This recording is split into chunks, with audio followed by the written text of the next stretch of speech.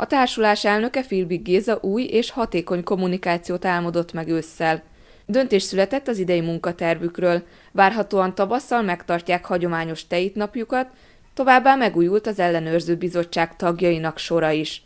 Kovács Antal, a Paksi Atomerőmű kommunikációs igazgatója és Dohocki Csaba, a PIP Kft. kommunikációs osztályvezetője a Dunakör kerékpárút turisztikai fejlesztésére hívta fel a társulás figyelmét.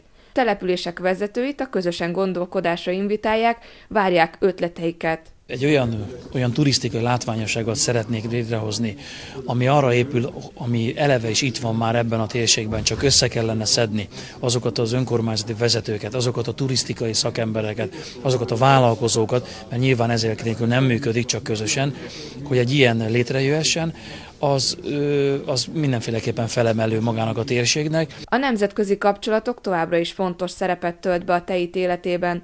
Többek között GMF üléseken vesznek részt, és egy fehér oroszországi szakmai tanulmányutat is terveznek idén. Idén kitekintést teszünk, hogy ottani nukleáris ipar mennyivel járul hozzá a igen magas szinten lévő gazdasági fejlődéshez, és ennek az országnak a kultúráját is szeretnénk nyilván megismerni.